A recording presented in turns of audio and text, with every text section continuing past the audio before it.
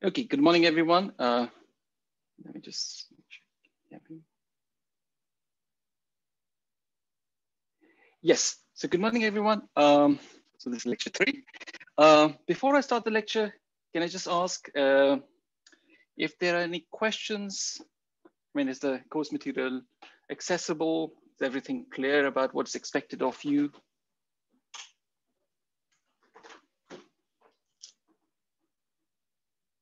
So we just, so we just have a, I mean, I'll give you a couple of in a chat of where we are because uh, we're going to change direction slightly. We've been looking top down, uh, and today we'll look what, at everything from bottom up perspective. And then towards the end of the lecture, we'll make sure that it meets. Um, but I mean, has everything been clear? Uh, one of the things uh, I think Philip was mentioning yesterday was uh, and somebody else said, so what I do is, uh, as you can see, I, I have some mathematics in the graph and I also have a lot of data in the graph. And so the data is, I crunch, so I use a program that crunches the data and produces the graph within the slides themselves. Um, and it's much, much easier to do that. You can do things much, much faster, but they produce HTML slides and you know, this is what the future of presentation is going to be. Like, you know, PowerPoint is last generation. Uh, PowerPoint and LaTeX are last generation. The next generation of slides would be done with HTML.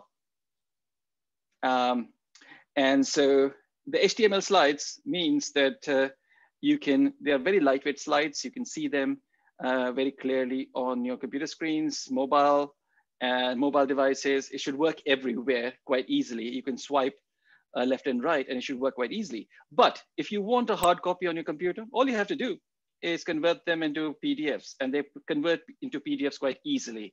Just print the slides, save them as PDF. I mean, I use a Mac, so I know on a Mac it's very, very easy, but I presume on Windows also it's not very difficult, right? So a couple of you have, a couple of uh, other people have also asked me these questions. HTML slides, it's not a problem. Just convert them into PDF. Okay, let me bring the bring the slides up. So, and yeah, if, if any of you have a question while I'm bringing up the slides, please do speak up.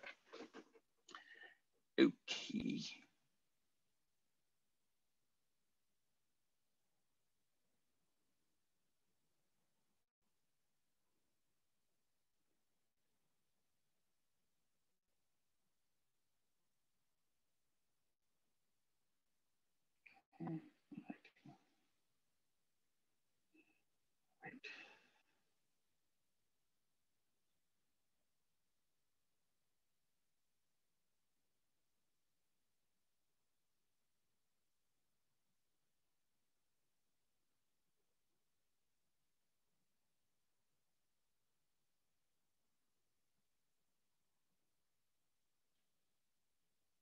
Sorry, the iPad just takes, it always takes a few minutes to connect.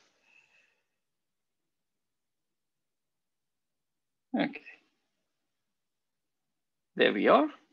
Okay, so um, it may seem a bit of a strange title, Waterways as Public Capital. Um, what this lecture is going to do, so what we've been doing about doing is we're talking about growth from a top-down perspective. You know, what's what's growth? Why do economies grow? And if there's one thing you would have taken away from the last two lectures is the process of capital accumulation is extremely important. Most countries that have developed have developed through capital accumulation. What is capital? Capital is basically a stock of something. The simplest way to think about it is machinery, but today we'll take a more nuanced look at what is capital. So machinery, so you know, I was watching television yesterday and there was a documentary on how Cornish pastries are produced. And you know, on BBC, why was I watching it? Well, I don't know. I was just I was watching something else, and then this started, and I kept watching it for some reason. And it talked about how Cornish pastries, uh, this particular company produces 180,000 Cornish pastries every day, and how it produces these Cornish pastries using machines. So the Swedes are taken, uh, the, the the root vegetable swede is taken, it's used machines sort out the sweets, push them through, you know, they get processed, they get processed, the puff pastry, everything is done through machines. So that's a very good example of a very capital intensive process where there are very, very few people working in making Cornish pastries. Um, and largely everything is done through machines. But if you imagine how Cornish pastry started, started or how the initial commercial production of Cornish pastry started, they were basically done by hand. So you would have oven, but a large extent, everything else was done by hand.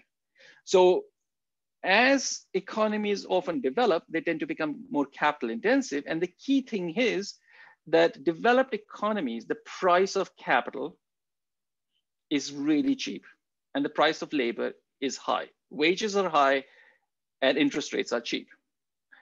Um, and there is a bit of a jump, price of capital and interest rate, there's a bit of a jump.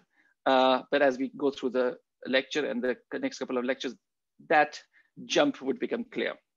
In developing countries, the price of capital is very high and wages are cheap. So developing countries tend to have labor intensive goods. The labor intensive goods are actually quite cheap to produce, but with when the labor works without capital, the labor is not very productive. They don't earn that much. And that is the heart of the development problem or the problem of poverty from an individual or household perspective, right? So the one broad thing that we notice is that developed economies have a very high capital base. The capital per worker is higher the more developed the economy is, the more prosperous the economy. But the question is, what is capital? Is it just machinery? What about the waterways, rivers, uh, you know, kind of waterways? Are they some kind of capital? Roads, rail, uh, railway tracks, are they some kind of capital? So today what we'll do is we'll talk about different kinds of capital and especially the distinction between privately owned capital and publicly owned capital. So if you live at the end of a street and you know the, the street that you come on uh, to enter your house is owned by the government, it becomes public capital. But sometimes what happens is you have developments uh, and the street ends at the beginning of the development. So the development creates roads within the developments and they maintain it themselves and that becomes private capital. So the notion of public and private capital is not just about who owns it, but there are other complications to that. So what we will do today is look basically at capital, capital, and we'll look at different kinds of capital, and we'll look at how do we know it's public and private, and we'll look at the role of the government. And what I'll then do, do later is in subsequent lectures is bring this back into the uh, growth framework. And when I bring it back to the growth framework, uh, you know, we'll get to the point that we were when we finished last lecture, when somebody said, what is A? Or is our mobile phones A? And, you know, you may have seen me struggle. and the reason I struggled to answer that question is because I hadn't defined all the concepts that I need to answer that question. So mobile phones, as you can see, right at the beginning of the lecture, are um, part of the A but the whole notion of is more complicated and we need the next couple of lectures to understand uh, what A is before we go back to the curve. And by the way, um, what is A has been the most controversial thing in growth theory. Solow had a perspective on what A was, um, and Paul Romer in mid 80s started writing and defined A in a different way.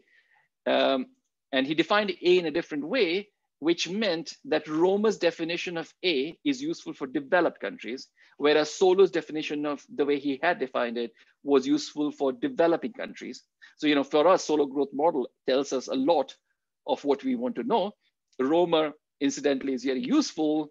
It tells us what happens once you become developed, once you have a lot of capital. And their interpretation, uh, you know, the interpretation of A in the Romer's uh, growth model is very different. And it was quite spectacular as well. So, you know, as I may have mentioned, Romer in the mid 80s for what the work he did as a young PhD student, he won a Nobel Prize two years ago. Okay, back to this. So I'm going to start off with, you know, the lectures till now have been relatively dry, But I'm going to start off with what I think is a really exciting paper. It's an exciting paper uh, about uh, the realities of developing countries and the realities of infrastructure and market in developing countries. So the example that we start off with is the coastal fish market in Kerala. Um, Kerala is a state in the south of India. It's on the west coast. And because it's on the west coast, it's been um, fairly connected to the rest of the world for a long time. Uh, it is it, it it is very multicultural. It got Christianity in the second century AD. Uh, it kind of it has it has uh, you know one third of it is Muslim, one third of it is Hindu, and one third of it is Christian. Um, it's a coastal area. It's very developed. The human development indicators are very very good. Uh, the human development indicators are, you know, so India is a developing country the human development indicators are very low. So what are human development, development indicators? Infant mortality, um, life expectancy, literacy, things we'd seen earlier, you know, the probability of getting a disease. Um, for most of India, their human development indicators are very low, but for Kerala, human development indicators are very high and comparable to the developed countries. But uh, if you look at economic prosperity measured in money, it's still not very prosperous. So it doesn't have the capital accumulation process in place, but it uh, it has very high human development indicators. So it's it's a in, in the world of development, Kerala is a bit of a, a mystery, a bit like Cuba, um, where human development indicators are high, but there's no capital accumulation process or capital accumulation process is limited. Anyway, that's aside. The, what we are interested in is the coastal fish market in Kerala. So imagine you're a fisher, um, uh, fish person, you're a fisherman or a fisherwoman. You go out at four o'clock in the morning to catch the fish. So the state of Kerala, you know, you can see India in this. So you can see India here. This is India. And within that, this part, the south west of India is Kerala. And as you can see, it's mainly a coastal, it's mainly uh, a coastal region, right? And so it's a long coastline. And so the fishermen go out in the morning to fish and they catch their fish. And then early in the morning at about six o'clock, when they're returning, they have a choice when they're returning, they have a choice. If a fisherman is here, they have a choice of whether they want to hit and uh, deliver the uh, fish to market here, to market here, or to market here, right? So the huge advantage of a sea is that actually you're not constrained in your path. You can go to any of the markets along the coastal regions. And which market would you want to go to? The market which has enough demand for your fish and you get a relatively good price for your fish. Now, you can imagine that it's a really complicated decision to make six o'clock in the morning. If you ask me to make a decision at six o'clock in the morning, I'd not be very good because I'd be sleepy. But I presume, um, you know, the fishermen are used to that, uh, uh, you know, so they're kind of more awake. But even with all that they know about the history of prices, so what would they know? They would know that last week I went to three different markets, right? So I landed up at three different markets, uh, and these were the prices, right? Based on that, I have to make a decision. And you know, how do you make a decision about which market to go? Now, here's the bit that gets really complicated, which is not only are you trying to predict the conditions in that market in terms of how much is how much demand there is and how much but you also try to predict how much supply there is.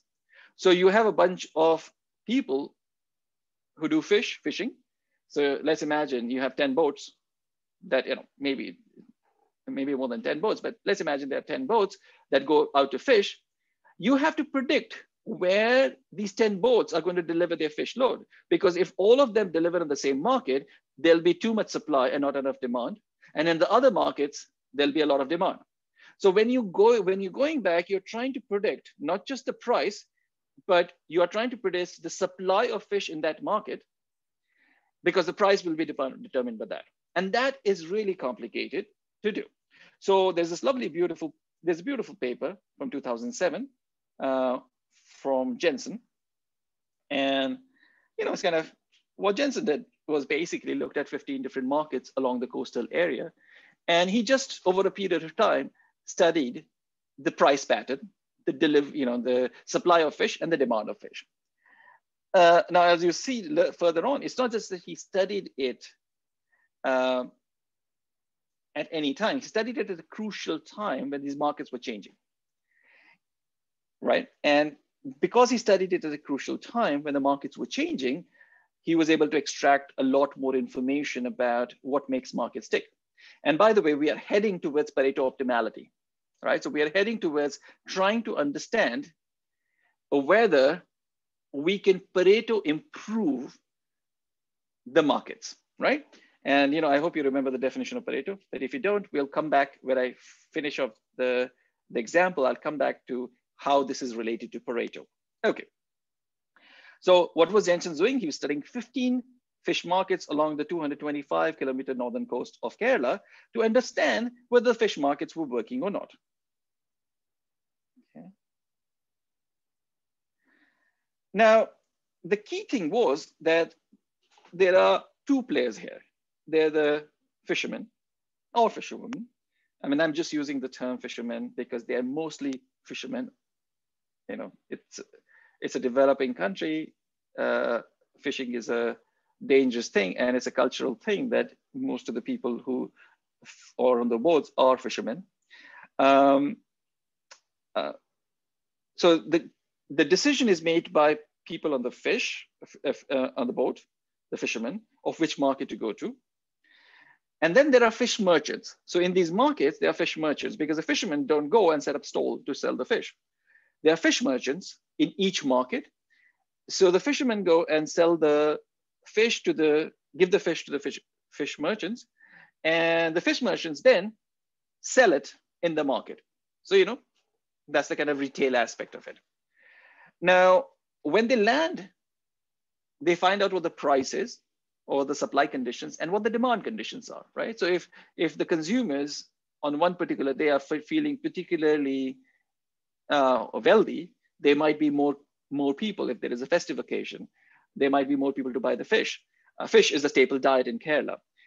But on the other hand, um, you might have a situation where people, there's been a, some kind of a shock, people, people don't have enough money. So on that particular day, people just decide that they're not going to have a fish, right? So I mean, the fish is a key thing here.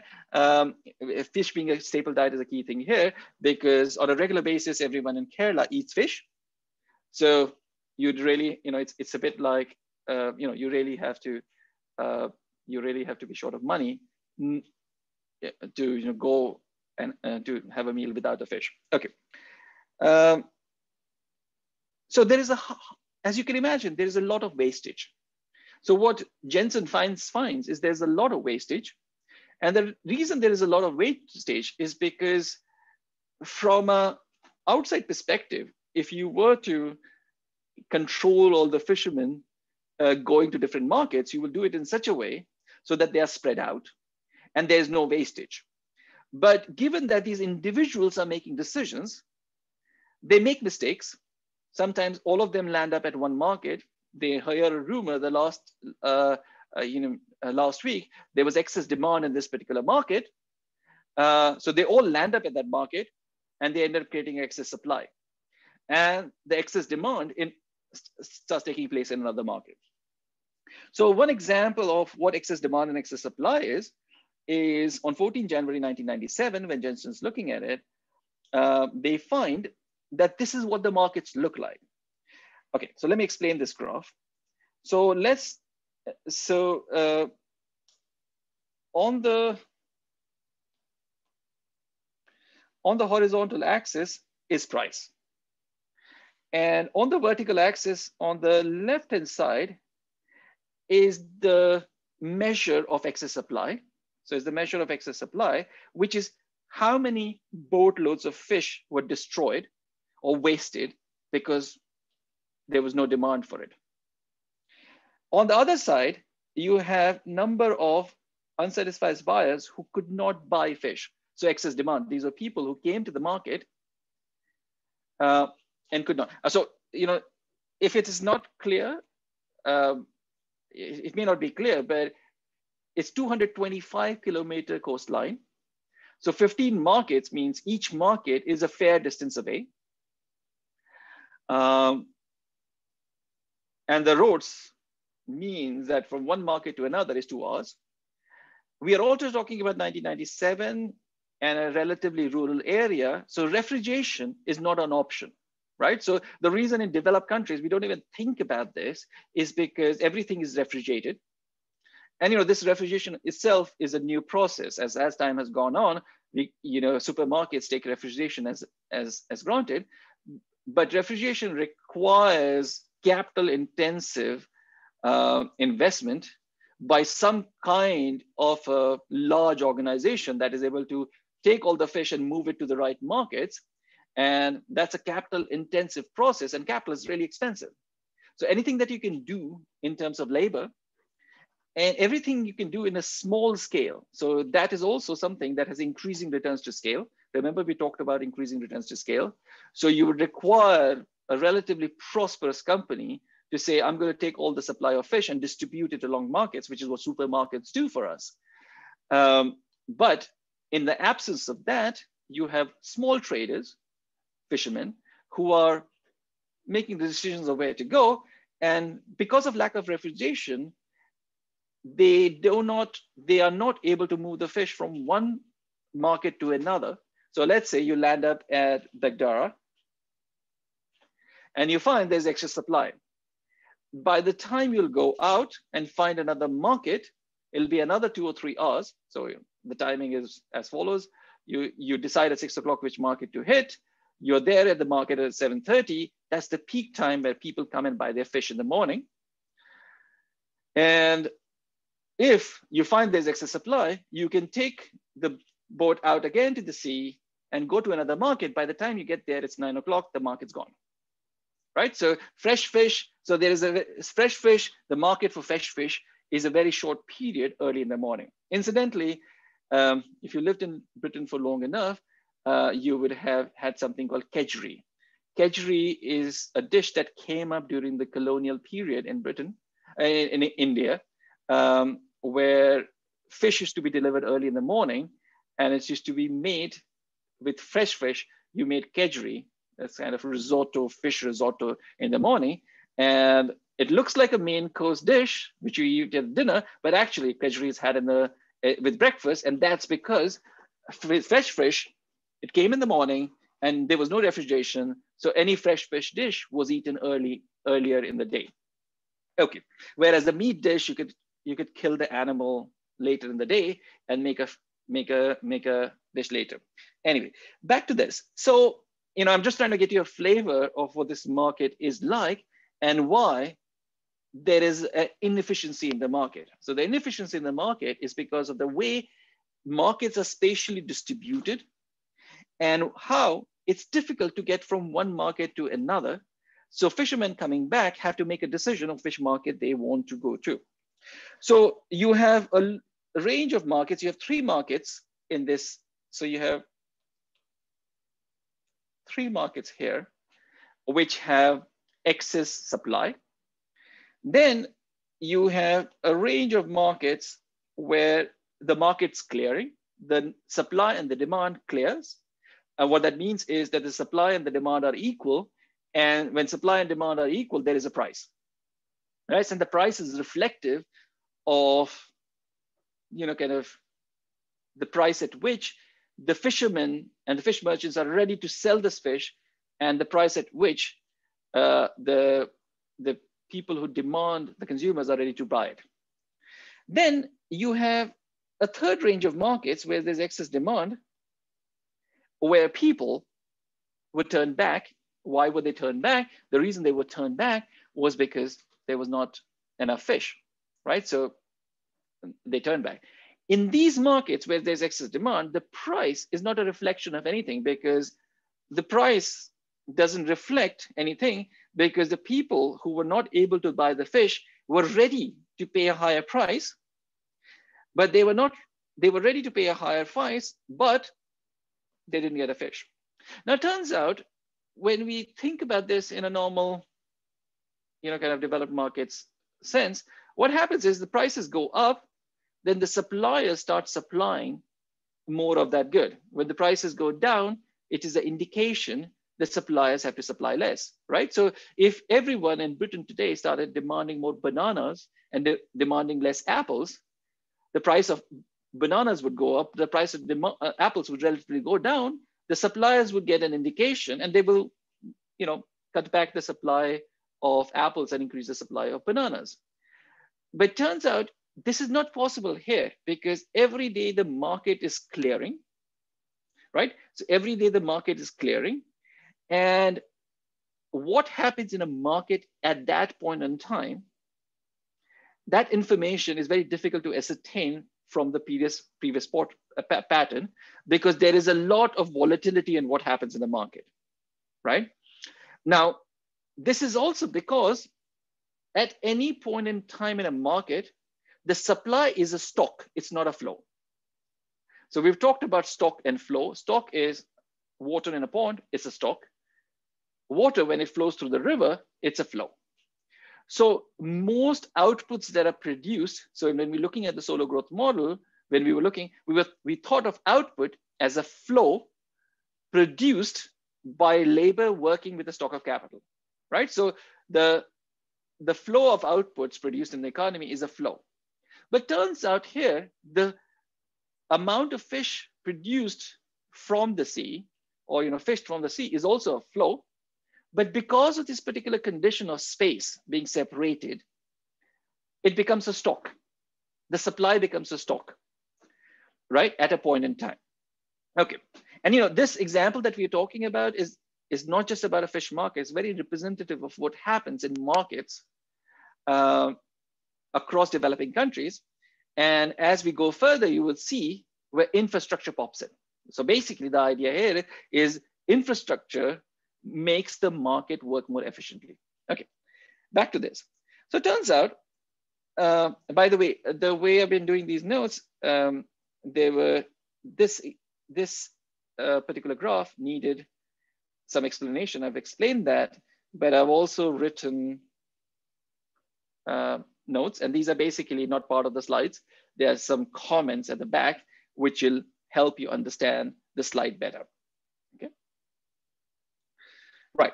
So now this is, we've already talked about it. Wherever in the market there was excess supply, the price, average price was zero. Wherever there was excess demand, the average price was 9.3.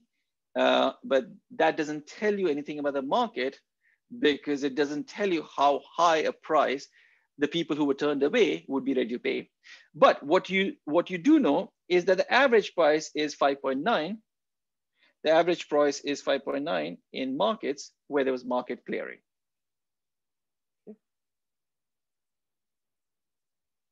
Now, turns out the reason this is an interesting study is because this was done at a point in time when mobile phones were being introduced to that area, right? And you can immediately see the advantage of a mobile phone.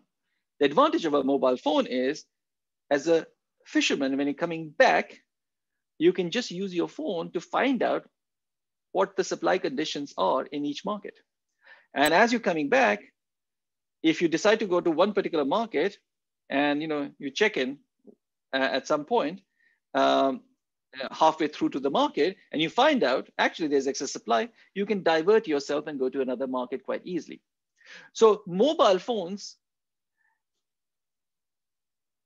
increase the flow of information that is required to correct the conditions of excess demand and excess supply. Okay. And so mobile phones change the nature of markets in that way because they are able to ensure that there's free flow of freer flow of information between the suppliers and the people who demand. Now, when we think of mobile phones, we think of the notion of transaction cost, and the transaction cost, a definition of transaction cost, I have it later in, the, in one of the notes, the definition of transaction cost is what is the cost of trading in a particular market, right? So it's not the cost of producing something, it's the cost of trading. So the cost of trading for fishermen, the cost of trading, the transaction cost was almost infinite because there was just no way without the mobile phone that they could acquire contemporaneous information about prices in that particular market. Now, with the mobile phone, the cost of acquiring that information falls down to basically pennies. Now, the reason why this is also helpful is because the mobile phone was not introduced in all areas at the same time. There was a sequential rollout of the mobile phone coverage where region one got it in, region one got it in on January 31st, 1997. Uh, region two, uh, there was more coverage on July. And then region three, uh, it got it in May, right? So region one, region two, and then region three. That was a sequential rollout.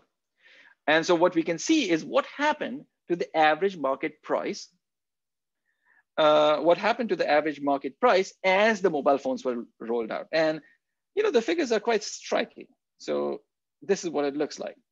So if you look at region one, this volatile area here is before uh, mobile phones were introduced. And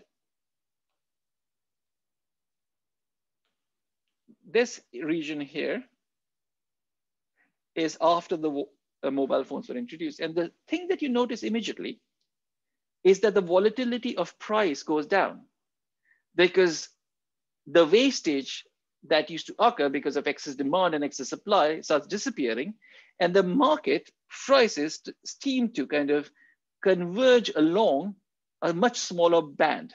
So, you know, zero is no longer an option. So if you look in the yellow area before mobile phones, zero was always an option right? So zero was always an option because that was a period of excess supply. And prices went relatively high. And at some point, when the prices went relatively high in these markets, um, in these the average of these markets, uh, that reflected excess demand. But there's no excess demand or excess supply once the mobile phones are added. And the reason this is a robust result is because you know this is not just a coincidence, something else is not driving it is because we can see this pattern in all three regions. As soon as you introduce mobile phones, as soon as you introduce mobile phone, the price volatility goes down. Okay. Now, the important thing to remember here is price volatility is a huge problem for businesses because businesses tend to, you know, especially small businesses, tend to be risk averse. Large businesses have large businesses have access to credit. Large businesses also have retained earnings. So their ability to bear volatility is much higher. But if you're a small business, volatility, price volatility can just drive you bankrupt. So you are very, very sensitive. So as price stabilizes, what also tends to happen, which we don't see here, is that as price stabilizes, there'll be a greater supply of people who get involved in fishing. And the reason is simply this. Given the probability, before the mobile phones, given the probability of hitting excess supply and getting no price for your fish, that day, the only people who could fish were people who could cushion that blow, right? So you've borne the cost of fuel and the labor cost or opportunity cost of labor to go out and fish that day and you come back and you get zero. So that means you have to dig deep into your pocket to cover that cost. So only people who could cover that cost could become fishermen. But once pay, prices start stabilizing and you start getting a relatively stable prices, the risk of making a loss on a particular day goes away. And so more people start getting involved and poorer and poorer entrepreneurs can become fisher, fishermen and fisherwomen. So the results that we have is that, sorry, the results we have is that, uh, you know, Jensen's paper, and it's a very nicely published paper. So it's published in one of the top journals. Um, it finds that there is a sharp decrease in, there's a sharp decrease in volatility of price. There is a reduction of waste and uh, waste. Fishermen's profit went up by 8% and consumers' prices went down by 4%. Now, if there was ever a definition of Pareto efficiency improvement, this is it. So what's the notion of Pareto improvement? Pareto improvement is when you can make somebody better off without making anybody worse off. And in this case, everyone's better off, right?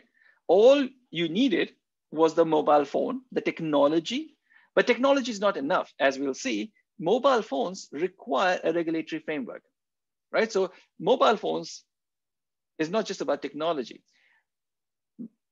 What you require to establish a mobile phone is you need a particular regulatory framework, which means there are some mobile operators who come in and they are ready to invest because they think the framework would allow them to conduct the business properly. If the regulatory framework is not properly, properly done, uh, these mobile operators would not be ready to operate. Now, the reason I've also written notes is because I'm going to do the next section where we decide, well, we'll define what is a private good and what is a public good. And that definition is key to understanding what's public capital and private capital. And it's the definition is slightly more involved. If you've done economics before, you may have come across this definition, but it's a slightly more involved definition. And it would be very useful to kind of go and look at these this example of the market after you've understood what public goods are. And so the notes that I've written would be helpful for you to look back at this after the lecture and then understand what the role of public good. Why is mobile, our mobile phones, privately owned mobile phone networks, public goods? Okay? So this is the thing. Please do read it after we finish the lecture. So the notion of efficiency, market efficiency is okay, let's talk about a Pareto improvement. So if you can make somebody better off without making anybody worse off, that's a Pareto improvement. And in this case, both the people who sell fish and the people who consume fish are better off and nobody's worse off, right? So it's very difficult to find anybody who's worse off uh, because of these mobile phones. Um, and obviously the mobile phones are not being publicly subsidized. So mobile phones everyone's paying for um, the use of the mobile phone services. And in spite of the fact that they're paying for this service, it still improves the efficiency. So this takes us to this idea, which goes back a long while, long back. It goes to Adam Smith's insight about markets. Now, I'll talk a little bit about what Adam Smith was saying. And the reason I think it's useful is because when you consume Adam Smith, uh, through the popular narrative, the nuance of what Adam Smith is, was saying gets lost. And so I want to kind of go over what Adam Smith was saying and why market and Pareto efficiency are interlinked. So what Adam Smith was saying was this. Forget about the institutions, forget about any of the kind of trappings. Just imagine a world in which there are a bunch of people who can produce something and there are a bunch of people who, who, can, who, who are ready to pay for it. Now, try to think of a system which where you would allocate goods from the suppliers to the people who are demanding, and then you try to figure out what price should be paid uh, from, from the people who consume them to the people who supplied them. Now, what would the definition of efficiency be? In this you know, and so we're not thinking about markets, we're just thinking about allocation mechanism. Think of NHS, think of, you know, how goods, uh, you know, how, how you allocate resources within your household. Think of how the food is allocated within the household.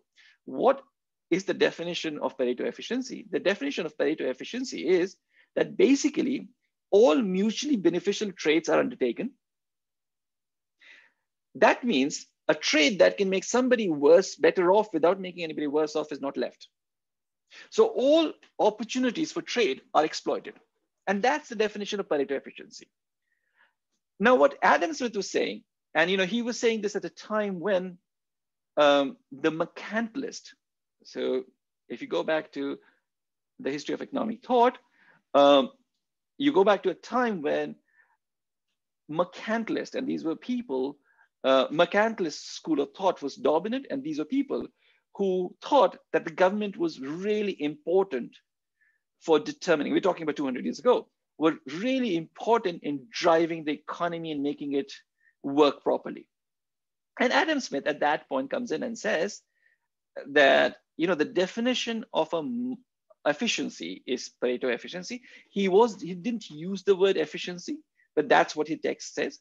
And he says markets can lead you to efficiency. And the reason why this was a really, really counterintuitive thought was because people were thinking of the world as a centralized place where some centralized authority, the government or the local warlord or the local feudal lord, would decide who does what, right? And what Adam Smith says is that without centralization, with a decentralized where individuals make choices, they can ensure that all trades, so they, you know, if they don't have a problem finding all the people who are ready to trade with them, they can exploit all opportunities of trade. And once all the opportunities of trade have been exploited, you reach a stage of efficiency. Now, how would the centralized power get you to efficiency? They will have to extract all the information from the people who are demand and the people who supply, and then work out all the trades and move things. And you know, there is a lot of problem in extracting information, and the process of extracting information itself is a costly process. Whereas here, basically, all the buyers and suppliers go and find each other, and they exploit all mutually um, beneficial trade. The key bit here is that they have to find each other. So if the suppliers and you know, kind of people, consumers are able to find each other in close proximity and, you know, move from person to person and say, do you want this? What price are you ready to pay for this? The market would become efficient. But the key bit is how difficult is it to find a person? How difficult, if you are, you have something to sell, how difficult is it to find all the people who are ready to buy? And that notion, the process of finding how costly it is, is called transaction cost. So what is the cost of finding people who are ready to buy things from you? So when there is high transaction cost, that lowers the efficiency of the market. And then there are some other issues that makes the market, you know, kind of not function properly. And these are if there is market power. So the idea of a market power is that if there is a monopolist or there are a bunch of suppliers who are the only ones who can sell this, then the markets don't work properly. So for the market to work properly, you have to have a lot of suppliers and a lot of consumers, and all of them should be small. No one should be able to influence the market. So that's one condition. The second condition is there should be no information problem. The idea of information problem is that if you're trying to sell me.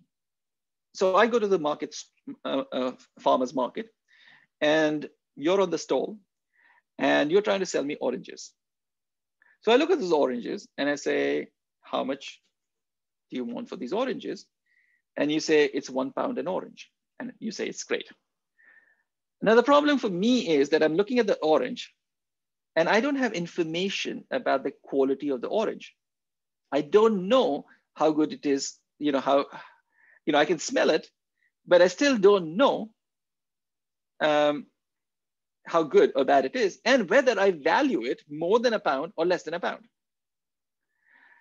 And so if I don't know, what would I do? I might not buy it. And if I don't buy it, the other people may not buy it because they are not able to ascertain the quality of what they're trying to buy. And if other two people don't buy, you as a seller don't exist and the market disappears. So there are lots and lots of markets that just don't exist because there's an information problem.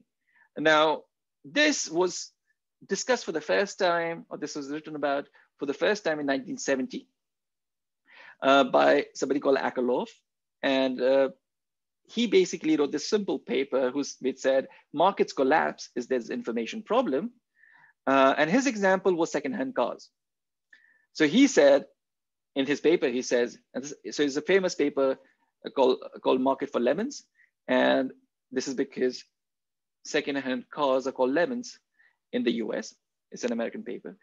And he basically said, if you want to buy a secondhand car, you want to find out the quality of the car. You don't know whether it's a secondhand car, which will stop once you drive it for 100 miles, or it's a car in excellent condition. So you don't have an information. So if you're buying, trying to buy a car and somebody says it's a $1,000, because you don't have information of the quality of the car, you're not going to buy it and the market would not exist. Now, we all buy things all the time, right? So we buy all buy things at the time. And what we take for granted, you know, I'm talking to a middle class audience here, and you know, most of you are in middle income companies or countries or developed countries. So you may not take, you realize how much information you acquire before you buy something. So if you go into your local supermarket, the local supermarket is ensuring that you have that information because that's their brand. So the local supermarket is saying, if you buy goods from us, we guarantee a certain amount of, certain amount of, um, certain amount, certain quality of the good. When you go to the farmer's market, from the farmer, you don't have uh, the same quality. And this is one of the reasons why there are lots and lots of farmers who are not able to sell their goods, even in a developed country, and they have to sell their goods to, um, to the supermarkets. And the supermarkets, you know, they always complain the supermarkets are exploiting them because supermarkets have market power. So this supermarkets are giving us information, but the fact that they're giving us information also gives them a market power, okay? And if you were talking about this in terms of a developed country, it would have gone off in a different correct uh, direction. But here all I want to, want to, want to point out is that all the trappings of a well-functioning market that we are used to means that information problems and transaction cost have been solved. And the, one of the key things to ensure that there is enough economic activity in the developed country is getting the markets working, working. And in the rest of the lecture, what I want to talk about is the role of public capital in ensuring that the markets are able to stumble, if not work. The last bit is uh, that markets also don't work if there are externalities. And what that basically means is that externality means that transaction between two people, trade between two people, has an impact on a third party who's unrelated. And so the reason why markets don't work is because if it has a negative impact on somebody, that is not being priced into the trade, right? So that is not being priced into the trade.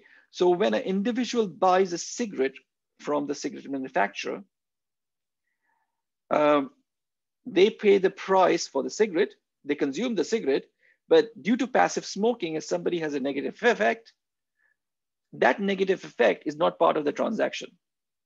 And then that means that you can actually make the person who's having a negative effect because of smoking better off right? By charging these people the right price.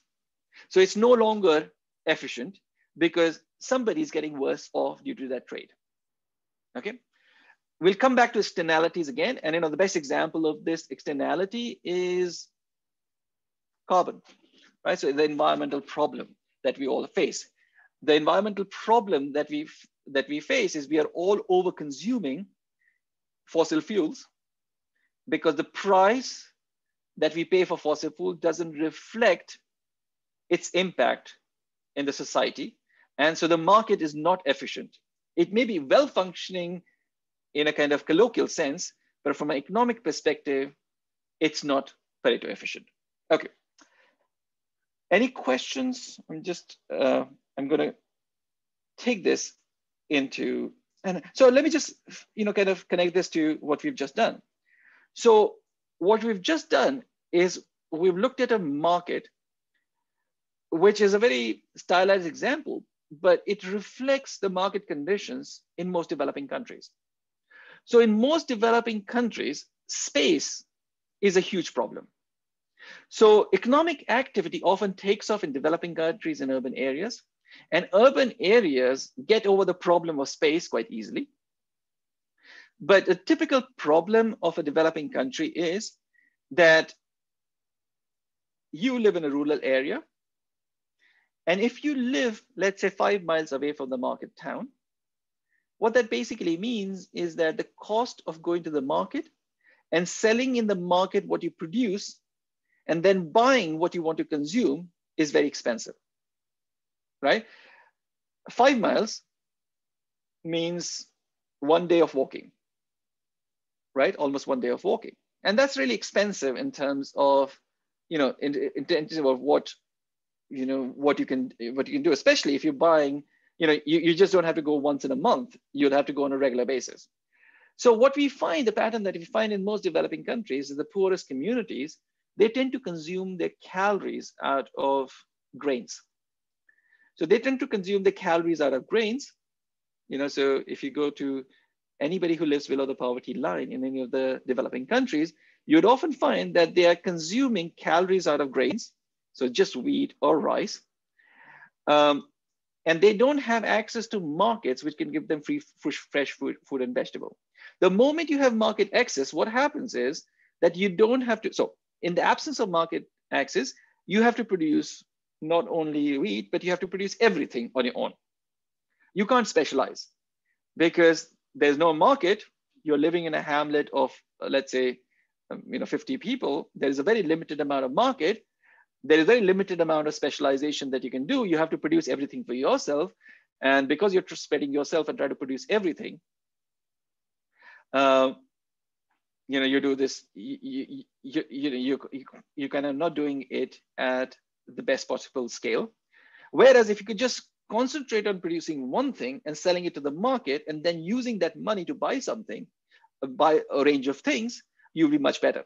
And we know from very carefully done studies is that moment people get slightly richer and they have market access, what they do is they start buying um, fresh fruit and vegetables. If they don't have market access and they're relatively poor, they only uh, they would only consume grains. And I'll refer to this again. And this, in the late 80s, uh, was developed into what became known as the first set of models of uh, poverty trap, nutritional poverty trap, uh, by a professor in Cambridge called Professor Partha Dasgupta. And so that paper, original paper is fascinating to read. And that base, the paper basically said this, that if you are consuming, producing everything that you consume, so that means you know, you're trying to get to your adequate number of calories by consuming wheat, that means you have nutritional deficiencies. You may not be getting enough calories, but even if you are getting enough calories, you have nutritional deficiencies, which reduces your capacity to work, which in turn reduces the amount of food that you're producing, which in turn reduces your capacity to work. And so you become malnourished, right? And so simple introduction of market means that you can produce something and instead of just consuming wheat, you can consume fresh fruit and vegetable, which gives you vitamins, which increases your nutritional um, nutritional kind of status and makes you a more efficient worker, right? So now I'm just putting this in the context of development that market access is extremely important. And most people's exposure to developing countries is urban areas. So, you know, if people visit India, they visit Delhi. If people visit Kenya, they go to Nairobi. And that is a relatively small part of a developing country. Large populations in developing country live in rural areas. That's where poverty is. That's where the development trap is. And market access is one of those key ingredients uh, that is not appreciated if you look at this in kind of the wider narrative. Okay. Uh, and you know, you can see how market access and what we are interested in, the role of infrastructure in development gets keyed in. But there are a couple of other things that I want to talk about. So water bodies have been crucial if you look at economic history, water bodies have been crucial in looking at urban agglomerations with developed markets and became thriving societies. So if you look at Venice, so if you ever go to Venice, the fascinating thing about Venice is um, that the cost of moving goods across the city of Venice was literally nothing. And the cost of getting things to Venice was literally nothing at a time when moving things across space was extremely expensive, right? So you you had to you had to take animals and then use animals to drive the cart and you take goods over the cart. You'll move slowly. You'll get robbed along the way. Whereas water bodies were these really easy to move surfaces. And they were easy to move surfaces and the cost of transaction cost, if you had a water body, went down to almost negligible, right? And so Venice in the west and Varanasi, the city of Varanasi in the east, are examples. So Varanasi is again a city that's based all along the river. And so that you could move things from one end of the city to the other end of the city using the water body. And I'm talking at a time before, before uh, fossil fuel, um, fossil fuel intensive vehicles and before proper roads, water bodies became, were excellent places which allowed you to reduce the transaction cost. And so it's not surprising that we see the development, early development of communities and prosperity along water bodies. So, you know, it's not surprising that most, uh, you know, centers, centers of uh, prosperity, even today, are next to water bodies, right? So New York, London, you, you know, uh, New York, London, uh, you can, you know, you can go on and on. Think of, oh, if you don't have a water body next to it, chances are that there's a very low probability that you're at an urban center even today. And you know, Suez Canal and Erie Canal. Erie Canal is an example that we've talked about, uh, and I'm going to talk about it in, again in a, uh, in a in a in a slide. But Erie Canal changed the, the history of US. It changed the direction of US. So the idea of water bodies is to not think of them as specific contextual things, think of them as automated surfaces. And so, you know, I'm going to talk a little bit about what are automated surfaces. And this here is absolutely the frontier of um, research. So people think of uh, uh, uh, uh, people when they think of infrastructure, infrastructure is thought of in terms of I know what is infrastructure. How do I define infrastructure? Well, no clue right? So, you know, how do I know something is infrastructure and something is not? Um, if I go to, if I go to Ullapool in Scotland and I find a shop in the middle of nowhere, is that a private, is that a private shop or is that infrastructure? People who live around the shop will call it infrastructure. Uh, but you, if you think shops are not infrastructure, will not think it's infrastructure. So what I want is the kind of primitive kind of primitive definition of infrastructure. And within that, automated surfaces, the notion of automated surfaces become really important. So what is the notion of automated surface? Automated surface is a surface along which you can move really easily. Sometimes that's because of the nature of the surface. And water, basically no friction, you can move easily. In other cases, like roads, they become automated surfaces where you can move easily because there are some rules that are imposed to make them uh, make them easy to move along. So if you're on the road, what is the rule that makes it easy? The road rules, that means that you drive on the left or the right. You follow certain rules so that you don't have accidents. If you have accidents, suddenly that becomes an inefficient surface. So the process of automation here is say, taking away an individual's discretion and replacing it with a bunch of rules. So the automation process is that. The other extreme example of a road, you know, automation of surface, which is even more automated, is a railway line. What does a railway line do? It commits the vehicle to a particular track. So the vehicle has no decision to make. And because it's committed to a particular track, you can make it go even further and further. And as we go into automated cars, the key problem that's happening is that automated cars work really well with other automated cars, but automated cars don't work well with humans because humans make mistakes. So, so if you wanted to create an automated surface and make automated vehicles, what you'd have to do largely is get the humans out. So we are in a transition phase where humans are still driving cars and humans make mistakes. So if you actually go back, go and look at uh, the Google experience, Google cars experience, what you find is Google cars only have had accidents when humans make mistakes because Google cars are very good at predicting, you know, they're good at following rules, they're good at understanding the surrounding, but what they're not very good at is predicting when the humans will jump the red light or make a mistake.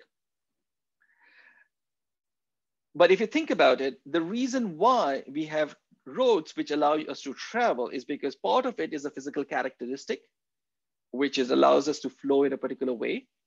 But also another part of it is that we have been automated as individuals on those roads. We can't do what we want to. We are trained to do follow a certain set of rules, and that makes the automated process. So automated surfaces are surfaces where it's very easy to move things across from one place to another. And these automated surfaces are crucial. And automated surfaces are railway lines, uh, railway lines, um, rivers, uh, railway lines, levels, rails. Now, the reason why automated surfaces are really critical is because water, automated surfaces change the nature of space around us. So for a second, I'm going to talk about this French tradition of philosophy. So the French tradition of philosophy in the 1960s were thinking very hard about how the human experiential space works. So this is not part of your course. And the reason this is not part of your course is because this is not something where, which is, it's, it's still in this philosophy tradition and it's part of one of my research projects um, of how to bring that philosophy tradition to understand the nature of space, right? So I have some written stuff on it, but it's still quite preliminary and nothing that I can, you know, kind of formally give to you. But I can give you the intuition of um, intuition of where I'm going with this.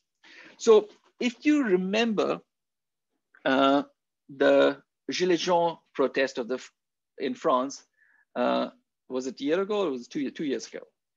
The protest in the France by Gilets jaunes, these yellow vest people, was against petrol hikes and against high prices being charged for the fuel. And now, you know, often there's a seen as people who are out of touch, people who are against climate change, you know, the same narrative that you have for Trump voters. Uh, but as somebody who's spent a lot of time in France, and have, have relatives in France and in rural areas of France, I could see it from their perspective. And their perspective was that even though rural areas of France might feel like really free areas, they were actually very claustrophobic. And the reason they were very claustrophobic was because the only way you can get from one place to another in a rural area in France you know, so the only way you can get to the next supermarket or the next marketplace is through cars. And the price of fuel has increased consistently in the last 15, 15 years as we are using the price of fuel to fight climate change. Now, their grief is that in urban areas, there is a lot of public transport, really cheap to travel. They don't need the cars. But for us, car is about getting from one place to another. And if every year prices keep going up, and in the last, you know, kind of last few years, the price keeps going up, and that means it's just reducing our mobility and reducing our ability to do something. And that's claustrophobia because you know you're caught up in your place and you know everything is far away, right? And everything is far away because price of petrol is going up. And so the French tradition talks about how space is not something which is given physically. Um, human experiential space is how easily we can move across space. And that is determined by, you know, automated surfaces. Where can I take a road? How costly is it to take a road? Where can I take a rail? Where can I fly? So it turns out, uh, you know, it may turn out that, uh, you know, if you're in London, going to, you can get to New York faster uh, than you can get to kind of one of the islands in Scotland, right? And so there, the human experiential space is being determined by your transport links. And the transport links are part of what the government has done or what the society has done, right? Okay, I'll define public goods and I'll come back to this. But thinking of space and naturally automated spaces or artificially automated space, how automated spaces change the nature of nature of um, nature of space and the human intervention in changing the nature of space is quite crucial. Now, with this in mind, go back and think about what was happening here in Kerala. What was happening here in Kerala was actually getting from one market to another was quite easy. All that was missing was information. Most rural areas, you know, where kind of economic activity is confined in developing countries, you don't have that luxury. So most areas have two problems. The first problem is how do I get from one place to another? How good the roads are? You know, can I, you know, can I have, can I get a public transport? no public transport? Would I have to walk? Would I have to cycle? And the second bit is information. And the beauty of this paper is that space is not a problem because it's on a water body. This market is on a water body. And so it pins down the role of information. So in most cases, the, the role of, you know, the role of space is that it separates you from other people who are ready to trade with you and you don't have information. And so there's a lovely paper that I'll do right at the end of lecture, uh, you know, at, at, the end of the lectures in lecture five, uh, by somebody called David Donaldson, who talks about how railways changed the Indian market in 1800s and how railways determined the pattern of prosperity in India or the lack of prosperity. Okay, so the key thing here is there are two different issues. Transaction cost, how do I get through space? and get to find somebody who is ready to trade with me. And if I can easily find people who are ready to trade with me, markets would start becoming efficient and you don't need to th think from outside. You can allow people to make transactions and they'll get to best, best outcome. And the outcome that they get to, you can't improve because it's to efficiency. So the role of space in that and the role of information in that. Okay. Any questions at this stage? Let me just check the chat.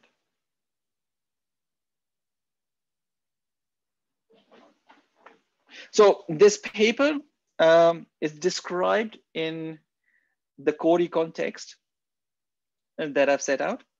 You can, I've also linked it as deep dive reading. If you want, you can read it, but you don't have to. So given all this, you can understand how crucial Erie Canal is when it opened in 1825. And if you follow economic, you know, the pattern of economic prosperity in, um, in United States, even today, this connects the most prosperous areas. So once areas become prosperous, and they became prosperous because you could easily move goods along the Erie Canal. Once it became prosperous, uh, those areas have remained um, prosperous. So it cut down the cost of transport by 95%. Now, most people, when they think of infrastructure, they think of corruption. And you know, corruption is an issue, but it's a trivial issue. And the reason it's a trivial issue is because if you read the reference I have of the Erie Canal, Erie Canal's construction was extremely corrupt. People made a lot of money. It was really done in an improper way, huge corruption. But the extent of that corruption pales in insignificance compared to the prosperity that that area has seen in the last 200 years. So corruption is a moral issue. It's, you know, it's, it's terrible, you know, but if the corruption allows you to grease the wheels and to construct something which is critical, uh, corruption is not an issue. So what I'm trying to say here is that most people think that infrastructure development, the problem of infrastructure development in developing countries is corruption. Turns out corruption is not what keeps it back. What keeps it back is something else, which is what I'll do towards the end of the lecture. You know, kind of, uh, there's some other. But corruption is an important issue, right? From a moral perspective. From a from an economic perspective, if you think of the amount of corruption and the inflated cost of the Erie Canal, you know, it just disappeared compared to the prosperity that area has experienced since then. Now, you either have automated for all, so so this kind of um, this kind of summarizes the the ideas in this section. So well-functioning markets are crucial for development. Why are they crucial? But it allows you to produce what you're best at and buy from other people who produced what you want to consume. And it allows people to specialize and produce whatever they're good at. And so basically, you can get the best possible price for what you produce and use the money that you get to buy a range of things at reasonable prices. Right? So the one of the first thing that happens whenever there is you have access to market is that you start getting things at reasonable prices. So there are natural automated surfaces, but the human intervention or development process is creating roads and railways, uh, roads and railways, and that requires fiscal capacity. So the notion of fiscal capacity is, and the definition is at the bottom in the footnote, fiscal capacity is a country's capacity to tax economic activity. So the capacity to tax economic activity, that's really important because if you're a developing country, you may not be able to tax the economic activity. Even developed countries struggle to tax economic activity, right? So try getting Apple and Amazon to pay your taxes. It's not easy because for every, you know, kind of every kind of government capacity, government capacity that you have, Amazon and Apple have higher government capacity and they find loopholes where they don't have to tax, pay taxes. The same problem exists in developing countries, which is one is you need to have an infrastructure to be able to tax. And the second thing is you want to close off all the avenues, all the leakages. Then there's a related but important component is that do you have a capacity to spend it in a productive way? So you may be able to tax a lot, but can you spend it in a productive way? Do you have a capacity to spend on public goods conceptualize the project, visualize where the needs are. And you know, I'll, we'll see a very good example of what happened to road construction in Kenya um, in the last 50 years. And part of it is the government's ability to conceptualize where the road, road was needed the most was compromised. So fiscal capacity has two components. One is, can you tax so is there economic activity? Can you tax the economic activity? And do you have a way to identify what is the right public good? What is the kind of right public good?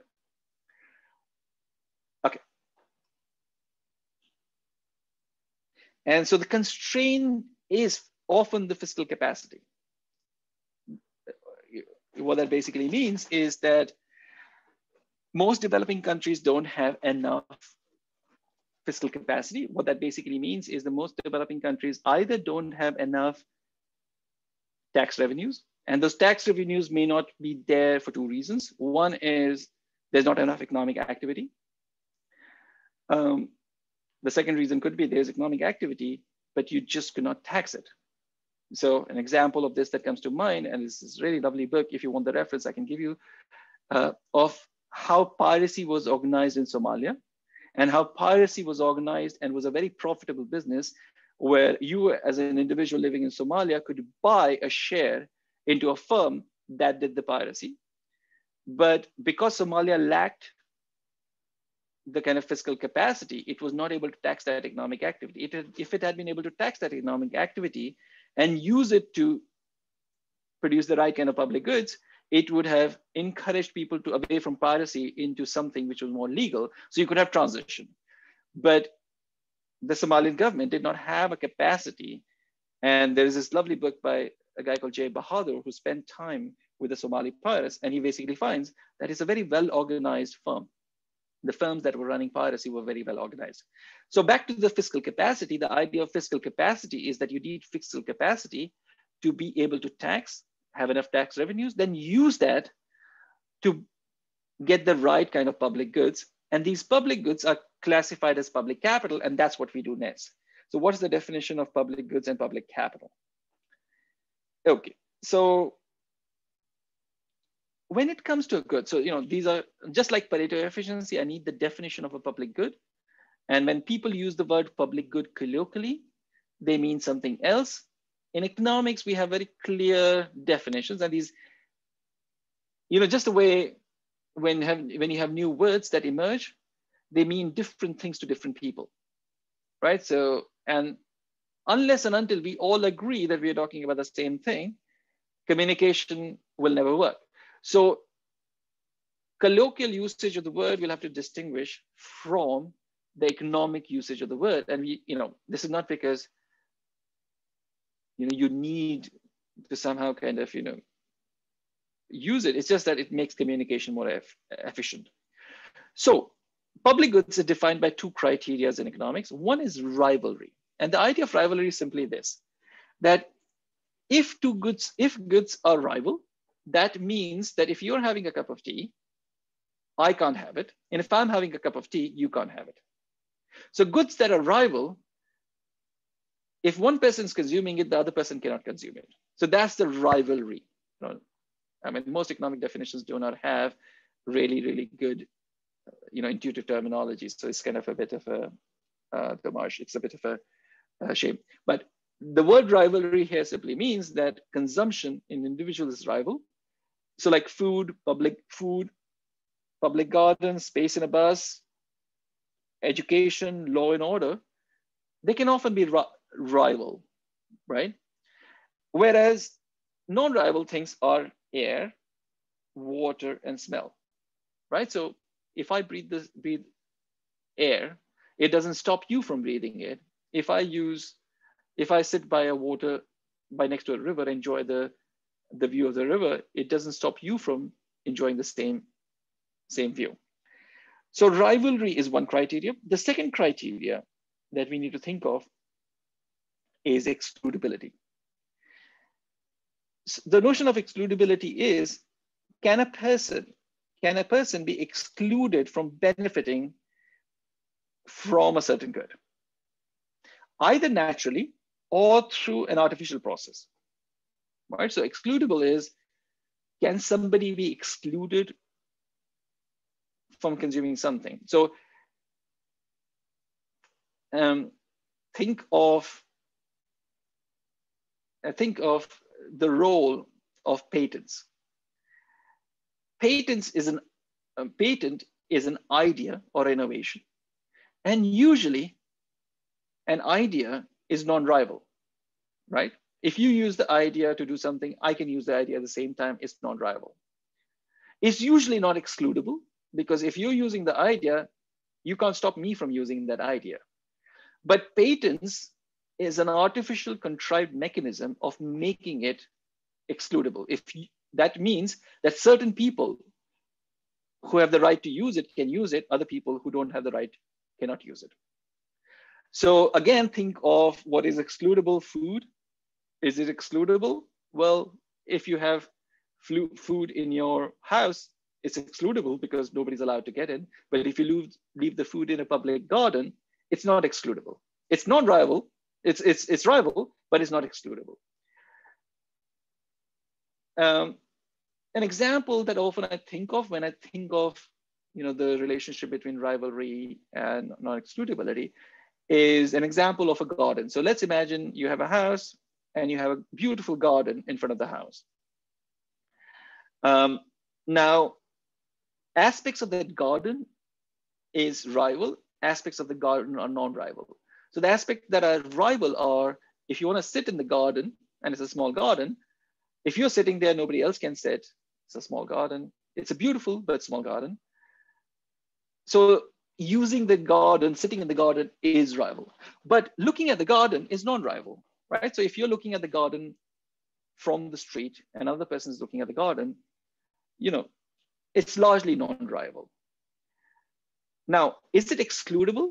Well, if you have a boundary around, it's excludable. So you can't use it.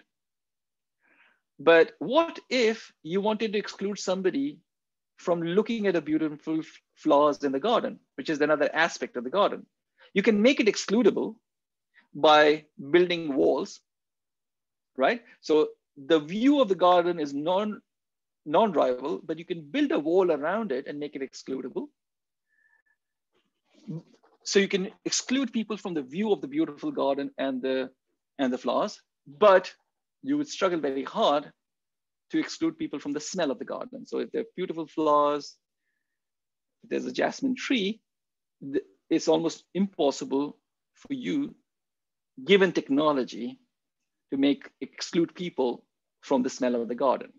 And so technology here often plays a very crucial role where we think of roads. So we think of roads as being non-rival. So if you're traveling on a road, it stop, doesn't stop me from using the road to travel. Um, but when it comes to excludability in UK, um, we don't exclude people from motorways. And what that basically means is anybody can use the motorway. You have to just pay your road tax.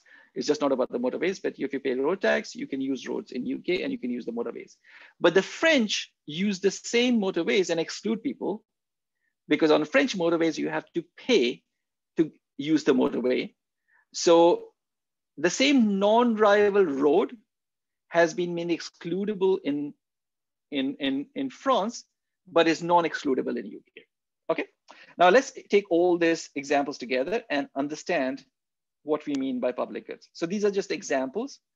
Uh, so as we said, so, uh, as we said, food and housing on, on this quadrant is rivalrous and excludable. And then you have examples of a local, a local thing in an area like a pond. So local thing in an area like a pond, which may be rivalrous, but non-excludable. So every, every English um, village or town has a common and common was a common green space in that in, in, in, in that city or uh, city or village. And there is a long philosophical tradition of trying to understand how to use that common efficiently.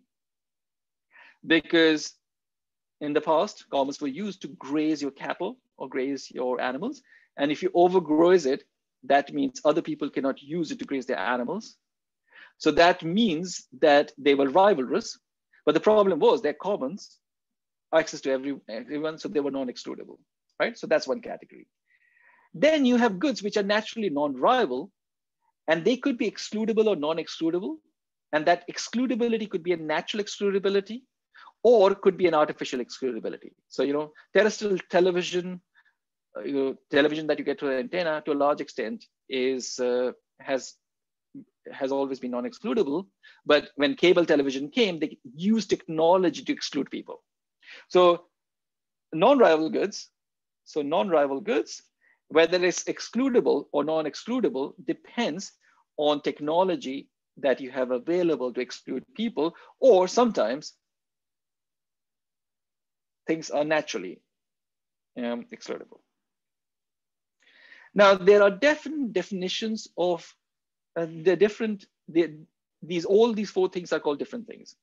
So pure private goods, sorry, so pure private goods are simply, you know, simply, sorry, So pure private goods are simply goods that we consume and buy from the supermarket. And often markets for pure private goods is easy because, right? Because um, they're excludable, they're rivalrous, no problem.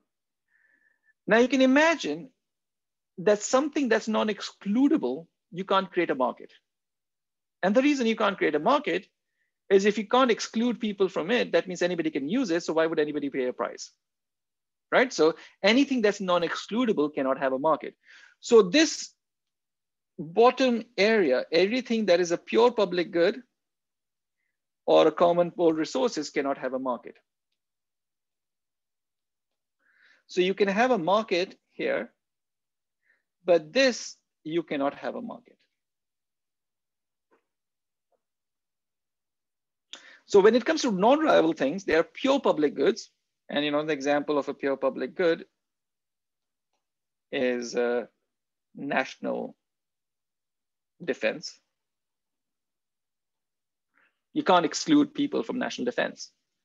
Um, it's non-excludable and it's also non-rival. If you have national defense for your country, if you have a robust national defense, you have a military, uh, uh, you have uh, defense forces that defend your country, everyone gets it, right?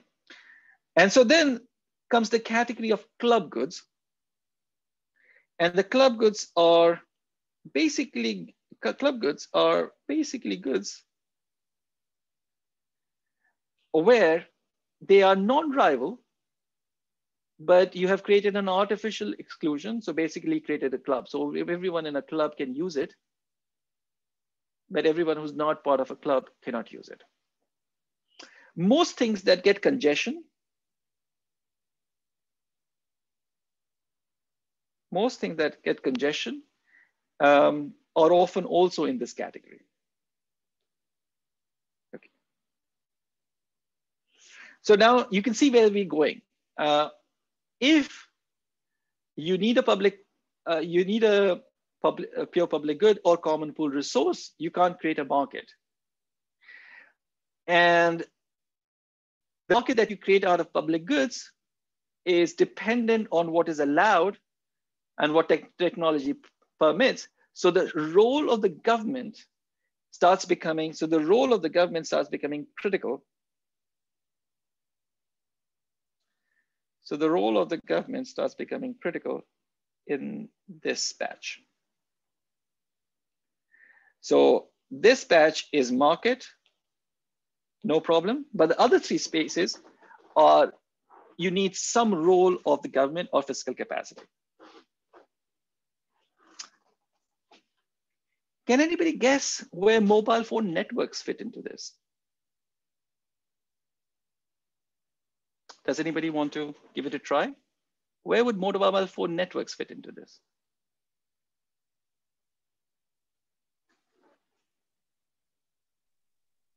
Are mobile phone networks club goods, essentially? Well, so my okay, network, so Vodafone, is a club because I've joined it to use Vodafone. You might have joined, I don't know, EE, and that's your club.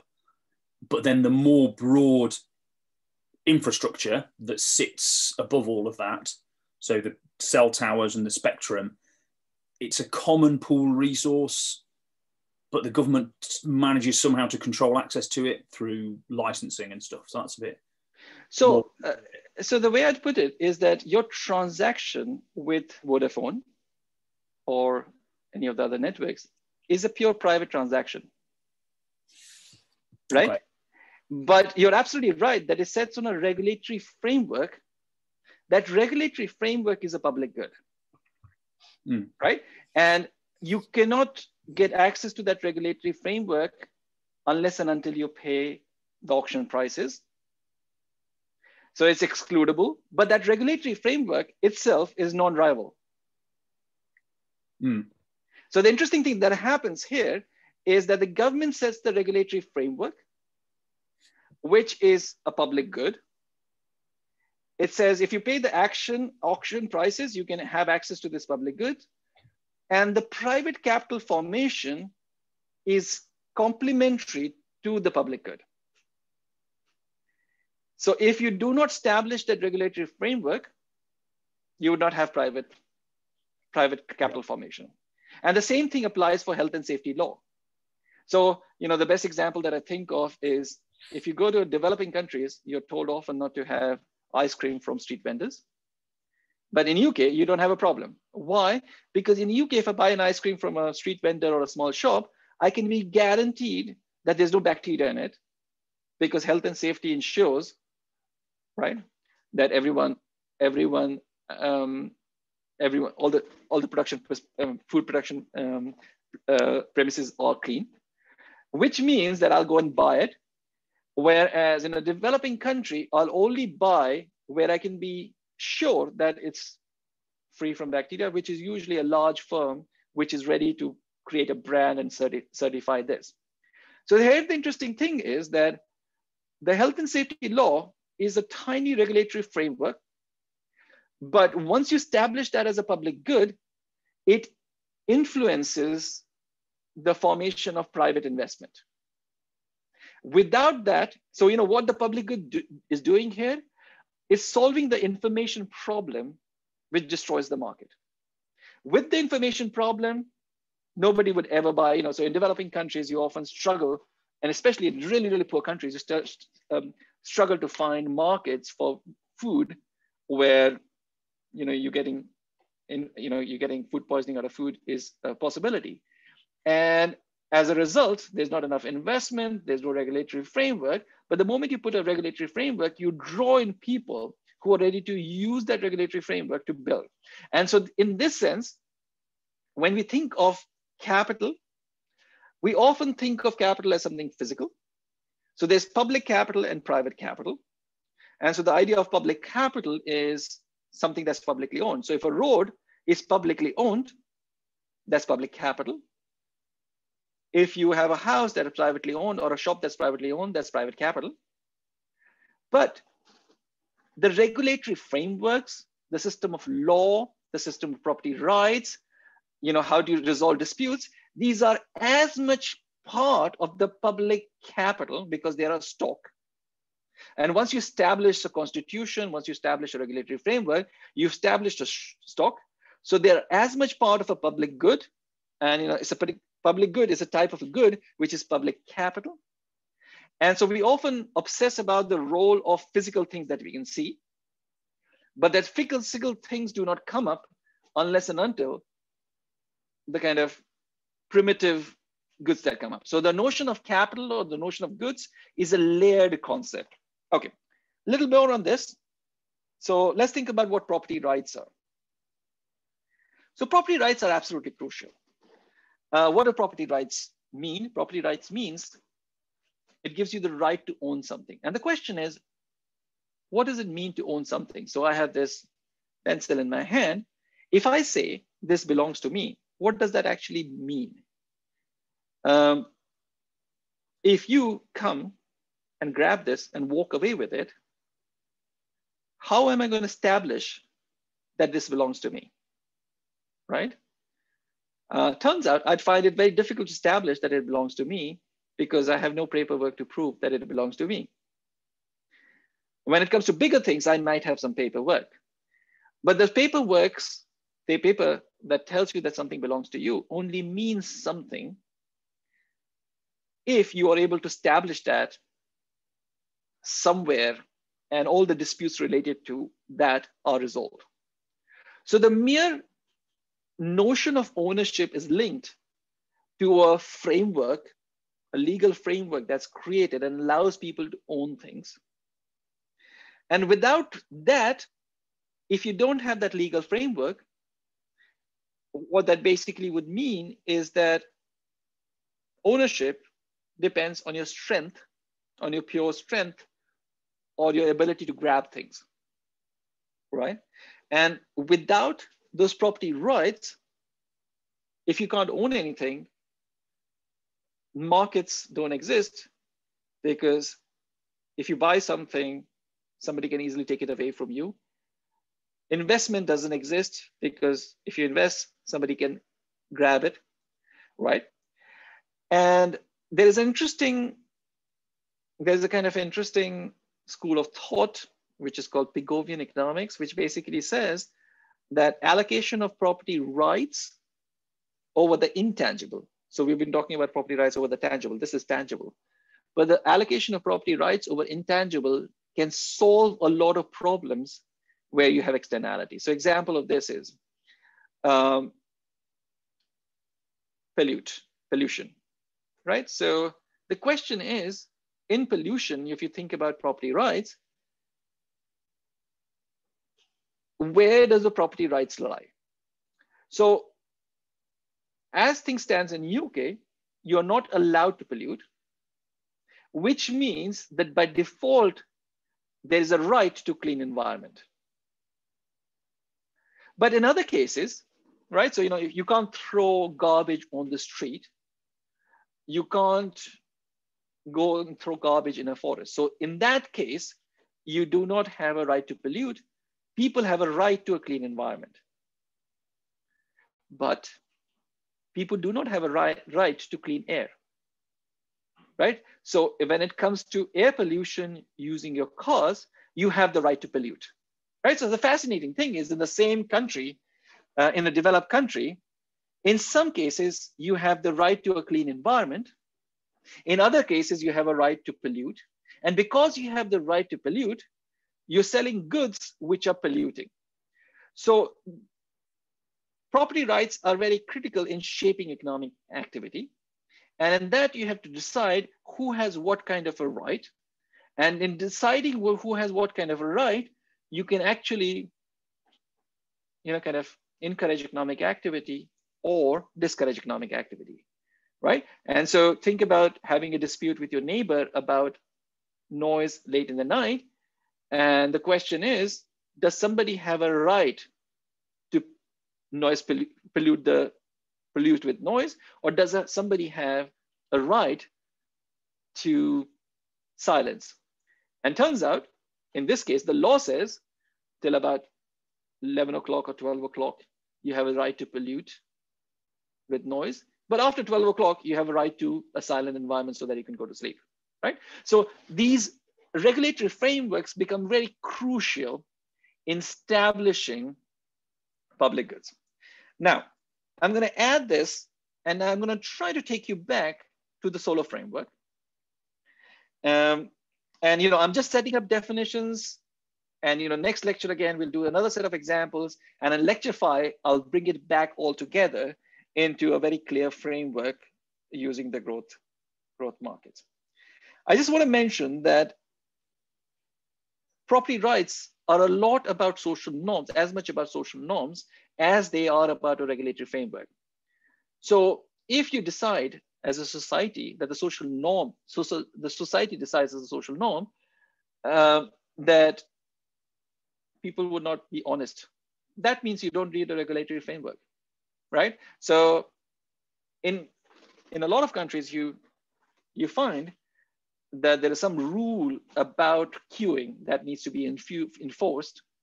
And you know, whenever it's not enforced, people don't queue. Whereas in UK, everyone queues.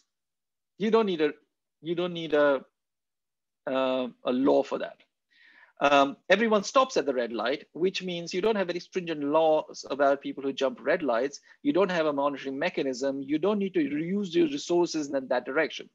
So one of the interesting things is that it's not like property rights and a regulatory framework is everything. Property rights and regulatory framework is only when the social norms do not you know, kind of are not conducive to social functioning. And I always think of this ex extremely kind of interesting example. So when I took my first job um, um, 20 years ago at University of Edinburgh, um, and I said I had a PhD in economics, they didn't need a certificate because at that point, if you said you had a PhD in economics or if you had said you'd done a bachelor's, everyone believed you. And then we found that for whatever reason, slowly, we started uncovering cases where people were misrepresenting the degree. So till, till early 2000, there's never a, people didn't perceive it as a problem, but there was a systematic pattern where people were kind of misrepresenting themselves. And now when you apply for a job, you have to show them a certificate. And there is a lot of skepticism if you don't show them a certificate. So it's an extremely interesting example it's an interesting, it's an interesting example where if there is a social norm and people use those social norms to function, you don't need regulatory frameworks. You only need regulatory frameworks when the social norms do not encourage economic activity. And one of the interesting things, and there is a there is a um, there's somebody in the Supreme Court in UK who's just retired, and he has these interesting arguments. I'm forgetting forgetting his name, and he basically talks about what legislation government does in terms of crowding out social norms. And I have an interesting, extremely interesting example of this, and I'll try to remember uh, next time to talk about it. I'm slightly running short of time. But there is also interesting balance between are you uh, are government regulations crowding out the social norms or are they encouraging social norms okay we've already talked about this conditions for market to function properly the examples that i used i've just expanded on that when we were talking about adam smith we've already talked about these three conditions public capital so what we did in Solow growth model, so and we're trying to connect what we've been talking about. We've been talking about public capital and the role public capital plays in encouraging markets and through markets economic activity, right? So there is that economic, private economic activity aspect of it. But the problem is that private economic activity often doesn't work because the underlying things that you need for private economic activity to work property rights, legal framework, a kind of infrastructure, physical infrastructure, that is often non-rival or non-excludable, right? Now, let's go back to Solow growth model and think about in the Solow growth model, where is the government, right? And Solow growth model is used. So this is the fascinating thing about Solow growth model. And you know, this is based on a paper that I've just, just written. Solow growth model is used as the model for development. Everyone who talks about development uses the Solow growth model. And the motivation for me writing that paper was I kept thinking, where is the government in social um, Solow growth model? So in Solow growth model, what happens is what you don't, so you know, this is, I'm just going over what we've already done in the last couple of weeks. In Solow growth model, basically what happens is output gets divided between output that's consumed and output that's not consumed, right? So output gets divided between output that's consumed and output that's not been consumed. So the output that's not been consumed potentially can be used to form capital. So that becomes private savings. Private savings then get converted into private capital. So these are, this is the market for capital goods, right? So uh, private savings go to banks, banks lend the money to firms, then firms can use that money to buy capital goods and machinery from firms that are making capital goods and machinery. And that private capital, once it's added, expands the capacity to produce tomorrow, right? Turns out there's no government in that because nothing is being taxed and nothing's being spent. So now, if you think of a government what you'd have to do is think of um, a third channel, uh, sorry, a second channel, where everything that's not consumed, everything that gets divided between gets divided between um, what becomes private saving and what becomes tax collected by the government, right? So anything that you don't consume today, right? Whatever you consume, cons what you're consuming uh, from your income, that goes into the consumption basket. But anything that you're not consuming is either private savings or taxes, right? So taxes, we have to, first thing we do is pay taxes. Then we see how much disposable income we have. And from that, we decide how much we're going to consume and how much we are going to uh, um, save. So saving and consumption is one aspect, but the other aspect is output that has not been consumed today becomes taxes. And that get taxes gets collected. And then that tax gets collected by the government and that is turned into public capital. And the public capital is often crucial for private capital. So there is a link. And this is the link we've been talking about. So without the mobile phones, regulatory framework for mobile phones, there were not enough fishermen who were fishing. Without roads, there are not enough shops and enough entrepreneurs. Who, this thing. Without a property rights, there are not enough. So there is a relationship between public capital and the public capital here can be tangible or intangible. So the public capital itself here um, can be tangible or intangible. So tangible are roads, uh, roads, you know, kind of uh, roads, uh, railroads, canals, and all kinds of other things. Intangible are anything which is legal, frame, anything which is a legal framework. So the problem with government's capital, public capital is that while private capital is easy to see and is all tangible, usually, public capital can be tangible or intangible. And is because, and why is, you know, so the question to ask yourself is why do we need public capital? And the reason we need public capital is because some things which are crucial for economic activity are either non-rival or non-excludable. Okay. Now, I'm going to leave it here the paper is there you know the paper is there and works out and it works out a new version of the Solow model once you add public capital. And it kind of shows you how you can get trapped as a poor country in a developing trap. Uh, and you know i don't I, I, I, I, if you it's it's again something that you can read but it's crucial. Um, the thing i want to point out is now from a poverty trap or poverty kind of poverty as experienced from individuals, right? So we've been talking about poverty trap or poverty as experienced at the level of the country. Let's talk about individuals now. So what are the channels that trap you into poverty? Okay.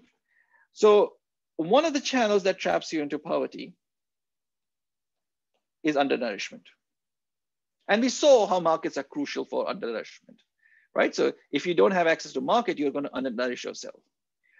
So the thing about poverty is that these channels are intricately related. So they're not simple dynamics. There is something underlying this, which is simpler to understand, but they are numerous channels. And once you're strapped into poverty, these channels reinforce.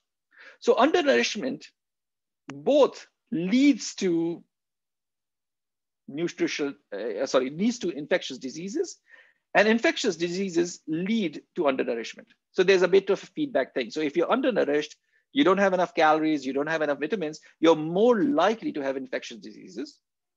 And you know, uh, at the back here, I'm thinking about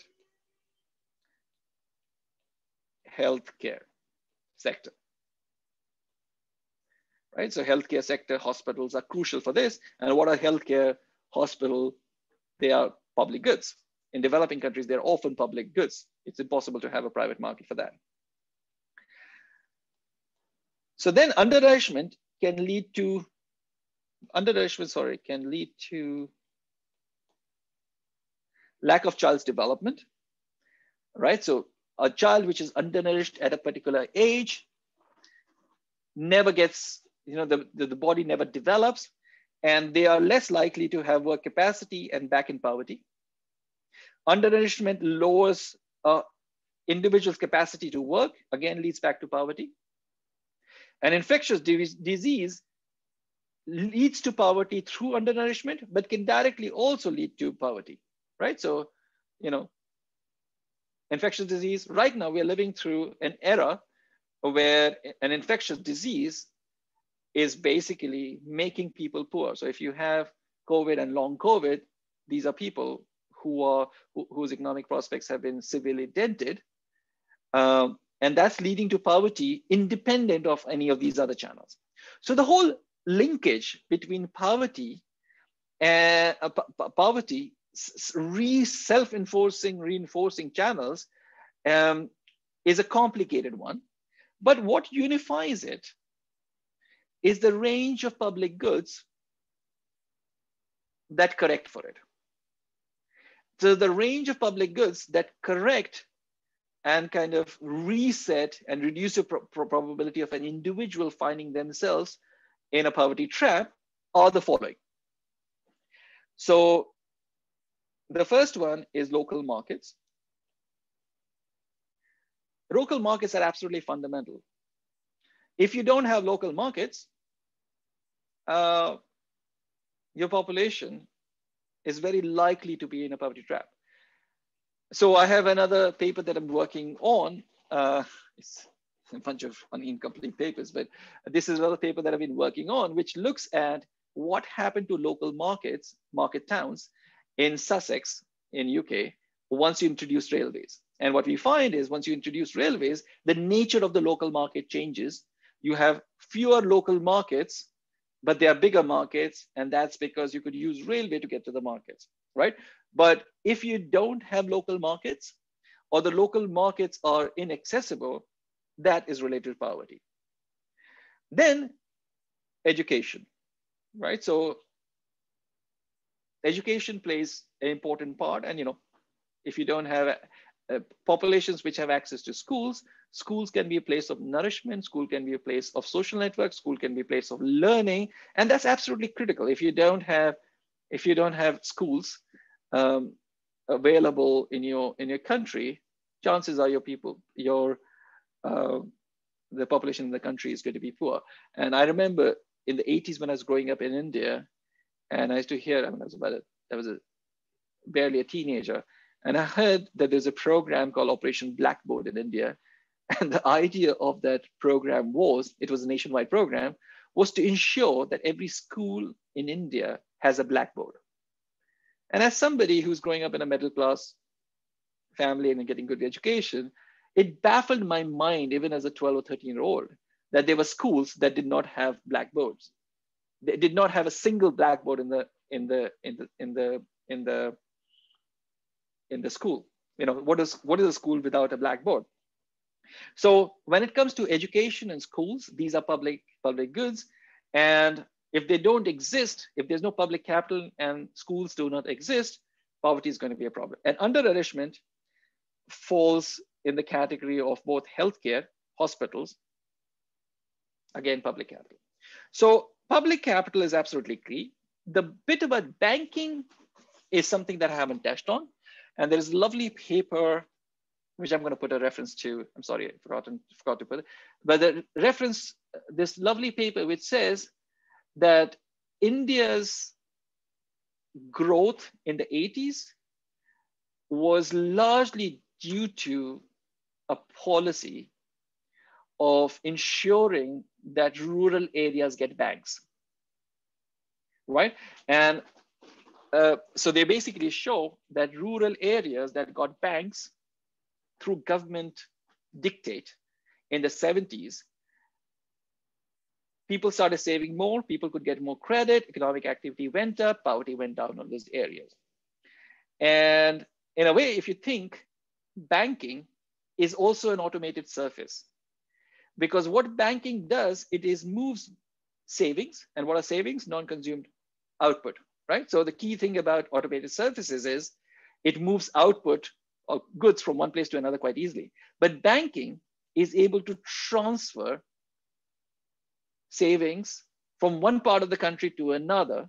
So the moment you have a local bank, you're connected to the to the rest of the country in a way, uh, in a way because you can get savings from the rest of the country, and you know use that to form cap capital. Or if you have savings as an individual, you can lend it to the best available opportunity in the country, right? And so it's something that I haven't explored, and I, I don't think I'll explore. But I just want to put that there that the banking becomes absolutely clue.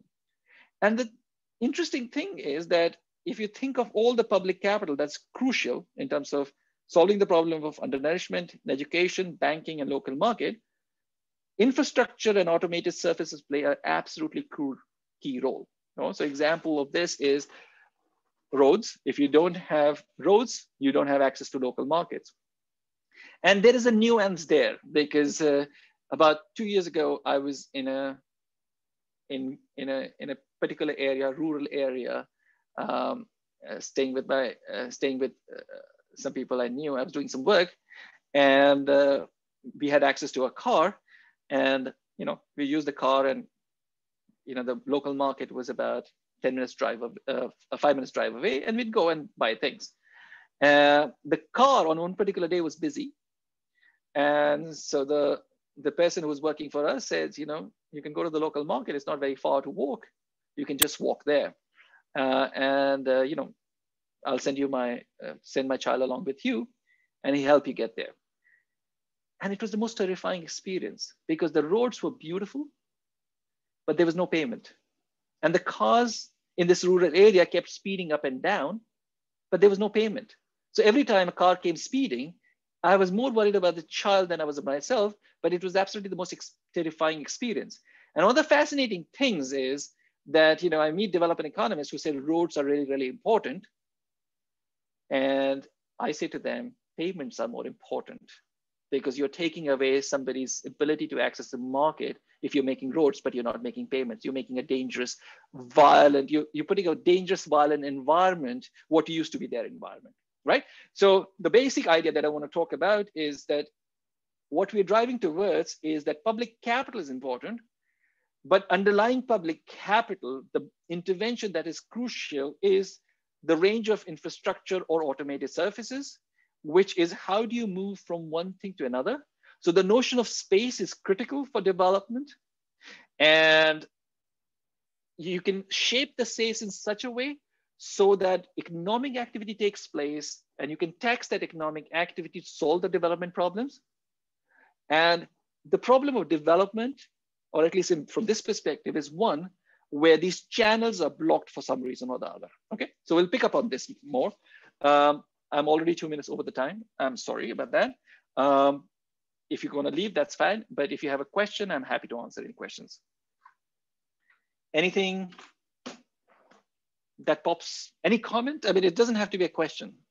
If anybody has a comment or observation.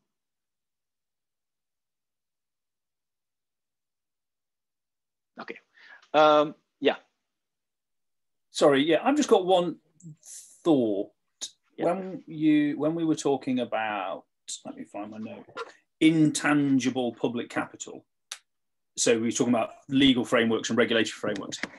Yeah. Is there is there something that says social norms are also public capital? So the order of society is is of good to society because if we didn't have the social norm of queuing, then no one would ever get anything in the shops or something. Is that absolutely, absolutely? Yeah. You know, so um, I'm going to bring this example back again, but uh, there's a lovely experiment in Israel, uh, which pinpoints exactly this point. So there used to be, I mean, if you've read uh, Freakonomics, it's mentioned in Freakonomics, the book.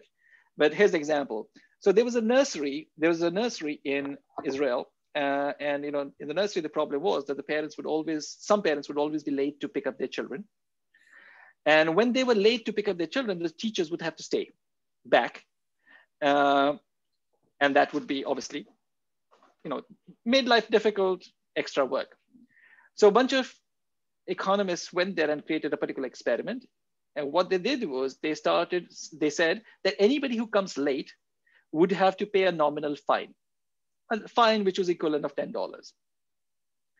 And then what they looked at is what are the proportion of parents who were coming late. Now, you'd expect that the proportion of parents who are coming late should fall, right? Yeah. But turns out it went up. And the reason it went up was because now parents felt that they had the right to be late. In the past, if they were late, they were inconveniencing the teacher. So there was a social contact, and the teacher was up, you know, you were being unreasonable. Whereas now that you're paying for it, it was like a babysitting service. So then what the what these uh, and you know what is critical was that it was ten dollars. It was not hundred dollars. Yeah. Then they removed the $10 thing and the proportion of people coming late did not go down. Right? So over centuries, we have learned how to get along with each other, formed social norms, which are absolutely right. You're right, they're public goods. We have formed these social norms, and regulatory frameworks can help it, but they also displace some of the social norms. And the key thing is to understand which regulatory frameworks, uh, which social norms to displace and which not to. So, you know, I, always do wonder whether fining people for overstaying in the parking lot or parking correctly, has that increased the problem of parking in UK or has it made it better? Right? I mean, in the, you know, social norms were a very large part of British society and in my 20 or 25 years here in UK, I've seen the erosion of that. Now, you know, you can look at it another way where you say a lot of people jumping traffic lights in, in some country, and you think it's important to bring that regulatory framework. So this relationship between the intangible public good uh, and the social norms is something that is difficult to kind of examine, um, difficult to understand, but it becomes a key to the development process. And, and is this one of these?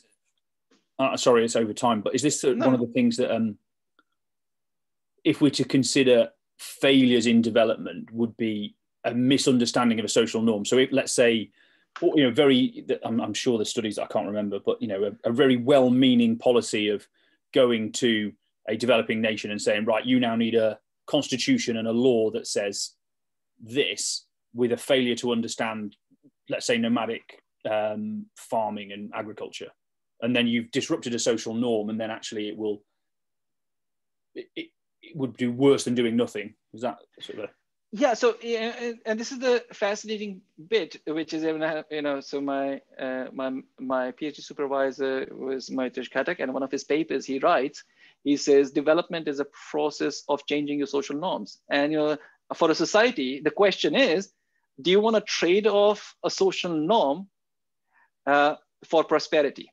So sometimes yeah. what you do is, you know, and so, you know, the, the reason it's not easy to answer is because sometimes you displace a social norm and you create, create a vacuum.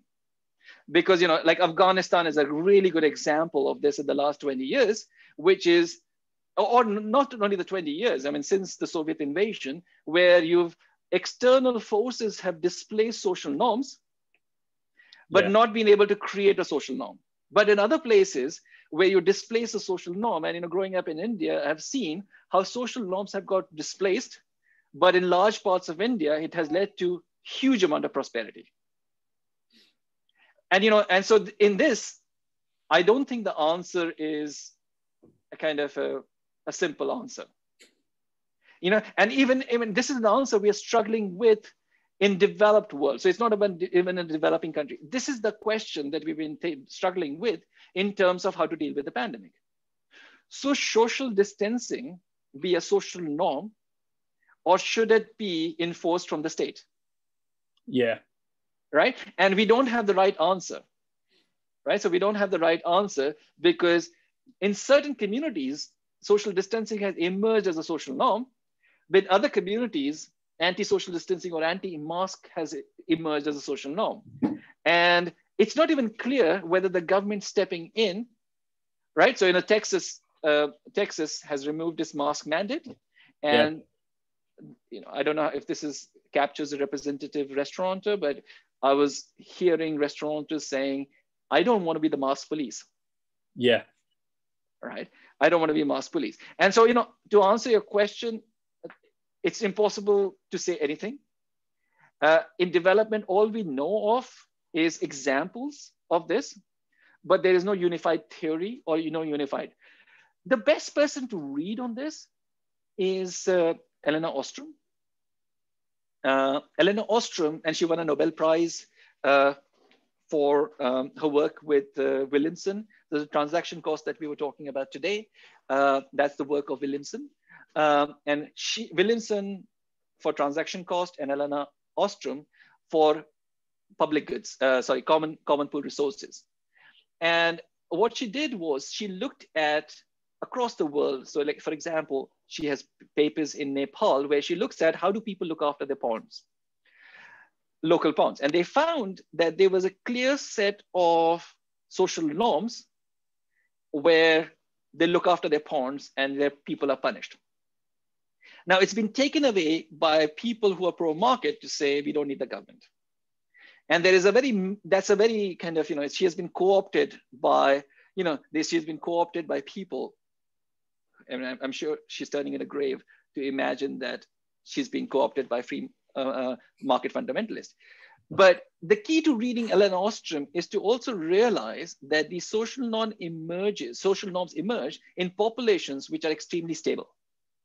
Yeah. The moment you have dynamic population, the moment you have dynamic population, the social norms become very difficult to enforce. And this is the problem that you're dealing with when it comes to social norm of social distancing. So it turns out, I think it's much easier to establish the social norm of um, social distancing within schools. And the government could have used schools to spread that social norm within the society. But there wasn't a proactive effort. And I'm saying this with all hands up saying it's easy to criticize from the outside and it's very difficult to be inside the government and actually get things done. But my perspective would be that using school teachers would have been the best way to propagate information about the coronavirus.